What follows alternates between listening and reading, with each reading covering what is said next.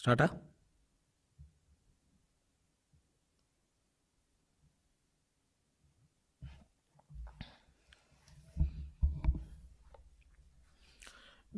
Media మిత్రులందరికీ కూడా పత్రికా విలేకరులకి మీడియా మిత్రులకు అందరూ కూడా నమస్కారం. మరి జగన్మోహన్ రెడ్డి గారు మూడు సంవత్సరాల అధికార కాలంలోకి వచ్చిన తర్వాత రకరకాల విన్యాసాలు రకరకాల ఇబ్బందులు. వ్యాపారులే జగన్మోహన్ రెడ్డి గారి టార్గెట్. ఎవరిని వదలం? ఇది జగన్మోహన్ రెడ్డి గారి సిద్ధాంతం. J tax. బెల్లం చుట్టూ ఈగలు మూగినట్టు ఈరోజు బెల్లం వ్యాపారాల చుట్టూ బెల్లంతో వ్యాపారం చేసే ప్రతి వ్యాపారస్తుడు చుట్టూ జే ట్యాక్స్ దారులు వాలిపోయారు. ఏంటంటే వివరంలోకి వెళ్తే మనం కొన్ని రోజుల కిందట జంగారెడ్డిగూడెంలో కల్తీ సారా తాగి ఇరవై మంది పైచీలకు చనిపోవటం జరిగింది. దీన్ని మా జాతీయ అధ్యక్షులు చంద్రబాబు నాయుడు గారు వెలుగులోకి తీసుకొచ్చి దాని మీద ఒక ఉద్యమం చేస్తే ప్రభుత్వం ఒక స్టేట్మెంట్ ఇచ్చింది. సహజ మరణాలు. ఎంతో పర్సంటేజ్ ఉంటుంది. ఎంతోమంది కొంతమంది చనిపోతూ ఉంటారు. దీన్ని తెలుగుదేశం పార్టీ రాద్ధాంతం చేస్తుందని ఒక ఫేక్ సీఎం ఫేక్ స్టేట్మెంట్ ఇచ్చాడు. ఒక ఫేక్ సీఎం ఫేక్ స్టేట్మెంట్ ఇచ్చాడు. సరే ఈ నిజమైన వ్యక్తులు ఎవరైతే చనిపోయారో వారి కుటుంబ సభ్యులు వచ్చి మా కుటుంబ సభ్యులు ఈ కల్తీ సారా తాగడం వల్ల చనిపోయినా అన్న అన్నా కూడా వాళ్ళ మాట కూడా వినరు. ఈ వైసీపీ ప్రభుత్వం వ్యక్తులు అధికారులు. ఇదిలా ఉంటే అధికారులు ప్రెస్ మీట్ పెట్టి అసలు ఆంధ్రప్రదేశ్లో ఎక్సైజ్ డిపార్ట్మెంట్ అధికారులు ప్రెస్ మీట్ పెట్టి అసలు ఆంధ్రప్రదేశ్ ప్రభుత్వంలో ఆంధ్రప్రదేశ్ రాష్ట్రంలో ఈ మూడు సంవత్సరాల్లో కల్తీ సారా అనేది ఎక్కడా కాయట్లేదు. కల్తీ సారా ఎక్కడా లేదు అని పెద్ద స్టేట్మెంటు. ఏంటబ్బా అసలు ఎవరు పొరపాటు పడుతున్నారు ఏం పొరపాటు పడుతున్నారు కొంత నిజంలోకి వెళ్దాం అని అనుకుందాం. గత వారం రోజుల నుంచి రాష్ట్రంలో అనకాపల్లి నుంచి అనంతపూర్ దాకా ప్రతి జిల్లాలో ప్రతి తాలూకాలో ప్రతి ముఖ్యమైన పట్టణాల్లో వ్యాపారస్తులు బెంబెలెత్తిపోతున్నారు. ఏంట్రా బాబు అసలు ఏంటి సమస్య? అసలు ఏంటి వీళ్ళు ఏమైనా తప్పు చేస్తున్నారా? ఏంటి? ఎక్కడ జరుగుతుంది తప్పు? అని క్షుణ్ణంగా అబ్జర్వ్ చేస్తే చాలా విచిత్రమైన విషయాలు వెలుగులోకి వచ్చినాయి. కిలో బెల్లం కూడా అమ్మనీయం బెల్లం ఏంటండి? బెల్లం? మన పచారీ కొట్లో బెల్లి అమ్మే బెల్లం. బెల్లం అండి అది. బెల్లం అమ్మనీయడానికి ఈ ప్రభుత్వానికి ఏ విధమైన ప్రాతిపద ఉంది? అసలు ఎందుకు బెల్లం అమ్మనీయట్లేదు అనే దానిలోకి వెళ్తే బెల్లంలో రెండు రకాలు ఉన్నాయి. ప్రతి ఒక్క వ్యాపారస్తుడికి తెలుసు. నల్ల బెల్లం తెల్ల బెల్లం.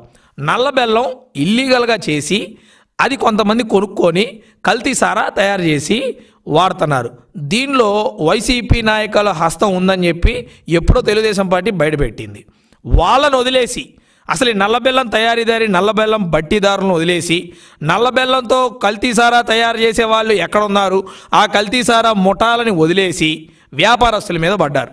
ఎక్కడో ఏ ఊరు తీసుకున్నా ఏ మండలం తీసుకున్నా ఏ తాలూకాను తీసుకున్నా ఈ అధికారులు ఎక్సైజ్ అధికారులు పోలీసులు తోడెళ్ళటం ఫుడ్ శానిటేషన్ ఇన్స్పెక్టర్ వాళ్ళు వెళ్ళటం ఆ కొట్టుల్లోకి వెళ్ళటం వ్యాపారస్తులు భయభ్రాంతులు చేయటం. ఏంటయ్యా అంటే ఇది ఆ బెల్లం కాదని ఈ బెల్లం చెప్పినా వినరు. నిన్న ఏదో కొత్తగా ఒక ఇదేదో పెట్టారు. ఈ రెండు చోట్ల వ్యాపారస్తుల్ని ఛాంబర్ ఆఫ్ కామర్స్ వాళ్ళని కిరాణా మర్చెంట్ అసోసియేషన్ వాళ్ళని పిలిచి ఒక వార్నింగ్ ఇచ్చారు పోలీసులు.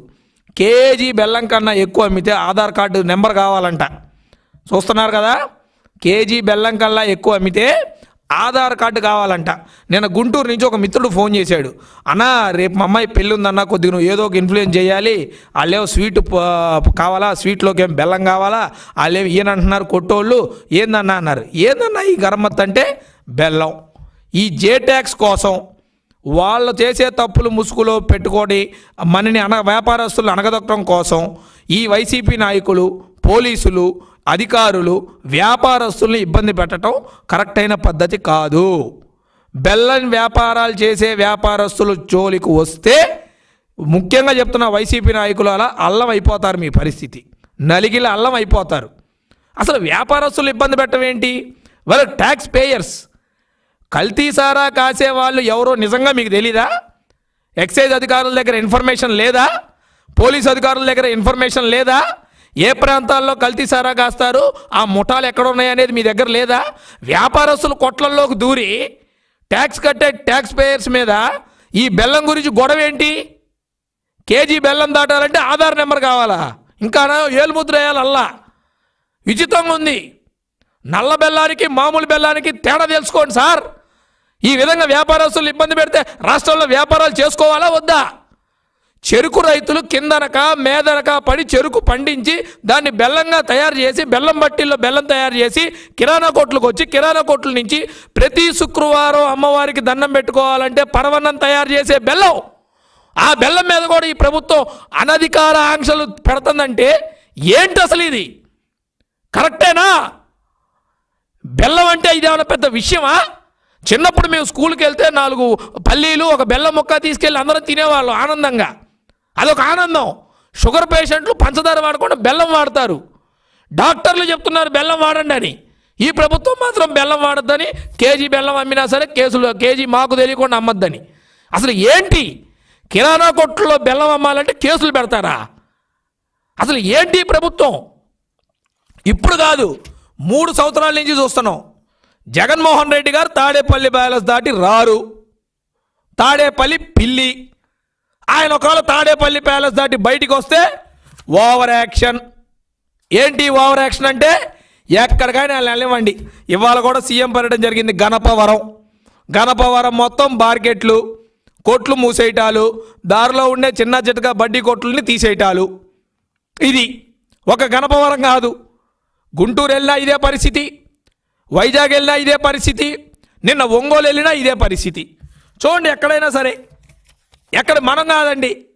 అసలు వ్యాపారస్తుల జోలికి రావటమేనండి. వ్యాపారస్తులు అంటే ఎవరండి? గవర్నమెంట్కి ట్యాక్స్ కట్టి గవర్నమెంట్ని నిలబెట్టే వ్యాపారస్తులు. అటువంటి ట్యాక్స్ పేయర్స్ జోలికి వచ్చి ఈ విధంగా ఇన్ని ఇబ్బందులా? వ్యాపారాలు బాగోక అల్లాడుతుంటే కరోనా టైంలో లాక్డౌన్ ఉల్లంఘన కేసులు పెట్టారు. ఓ పావు గంట తలుపు ఎక్స్ట్రా తీసి అమ్మారంట. ఎవరి కోసం అమ్మారండి? జనాలు. ఇళ్ళలో కూర్చుంటే పిల్లలు ఏదో అడిగితే చేసి పెట్టాలి కాబట్టి తల్లిదండ్రులు వచ్చి కిరాణా కొట్టు దగ్గర రుంచుంటే వాళ్ళు అడిగినానికి కాదనకుండా వాళ్ళు రుంచోబెట్టి ఒక ఐదు నిమిషాలు అన్నని రిక్వెస్ట్ చేసి ఇచ్చి పంపించారు. దానికి లాక్డౌన్ ఉల్లంఘన కేసులు. అద్దెలు కట్టుకోలేక కరెంటు బిల్లు కట్టుకోలేక లాక్డౌన్ టైంలో ఇబ్బందులు పడితే వ్యాపారస్తులు ఈ ప్రభుత్వం వచ్చాక రీస్టార్ట్ ప్యాకేజీతో మేము ఆదుకుంటామని పెద్ద వెబ్సైట్ ఓపెన్ చేశారు. ఎక్కడైనా ఆదుకున్నారండి వ్యాపారస్తుడిని ఆదుకోకపోగా మీ పర్యటన ఎక్కడుంటే అక్కడ.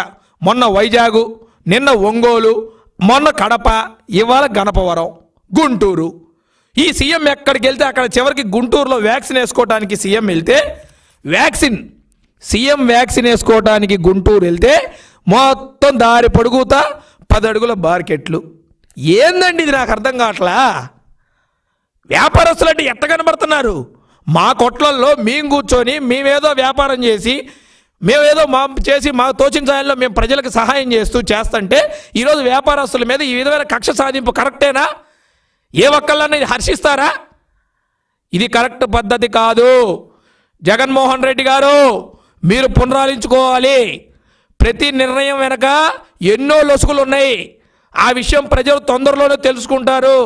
ఈరోజు ఎందుకు బెల్లాన్ని బ్లాక్ చేస్తున్నారు? ఎవరి జే ట్యాక్స్ కోసం బెల్లాన్ని బ్లాక్ చేస్తున్నారు? ఎక్కడ ఈ బెల్లాన్ని తీసుకెళ్ళి ఉపయోగిస్తున్నారో త్వరలో తెలుగుదేశం పార్టీ బయట పెట్టబోతుంది. ప్రతి ఒక్క అధికారులు కూడా తెలుసుకోవాలి. వ్యాపారస్తులు వ్యాపారం చేస్తూ ట్యాక్స్ కట్టే ట్యాక్స్ పేయర్స్. అటువంటి వ్యాపారస్తుడిని మీరు రకరకాలుగా ఇబ్బంది పెట్టడం కరెక్ట్ అయిన పద్ధతి కాదు. ఈరోజు రాష్ట్రంలో ఎన్నో పెట్టుబడిదారులు మీరు తీసుకునే నిర్ణయాల వల్ల వెనక్కి వెళ్ళిపోయినాయి. దానివల్ల ఎంతోమంది ఉపాధి కోల్పోతున్నారు. చెరుకు రైతులు చెరుకు రైతులు బెల్లం పండించాలంటే భయ చెరుకు పండించి బెల్లం తయారీ దానికి అమ్మాలంటే భయపడే స్థితికి తీసుకొచ్చారు ఈరోజు. ఇది వ్యాపారి వ్యతిరేక ప్రభుత్వం. పూర్తి వ్యాపారి వ్యతిరేక ప్రభుత్వం. ఇది ఖచ్చితంగా తెలుగుదేశం పార్టీ తరపున మేము ఒప్పుకో. మీరు కనుక మీ పందా మార్చుకోకపోతే తెలుగుదేశం పార్టీ విధానం ఏంటో త్వరలో మీ ముందు పెడతాం. తెలుగుదేశం పార్టీ వ్యాపారుల తరపున ఉండి వ్యాపారులకి ఏ సమస్య వచ్చినా తెలుగుదేశం పార్టీ వ్యాపారులకు అండగా ఉండి పోరాడి వ్యాపారస్తులకు మంచి జరిగే నిర్ణయం తీసుకుంటామని తెలియజేసుకుంటున్నాను. Thank you